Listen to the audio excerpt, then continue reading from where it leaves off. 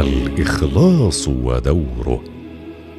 قال الإمام العسكري عليه السلام لو جعلت الدنيا كلها لقمة واحدة لقمتها من يعبد الله مخلصا. لرأيت أني مقصر في حقه. ولو منعت الكافر منها حتى يموت جوعا وعطشا. ثم أذقته شربة من الماء لرأيت أني قد أسرفت.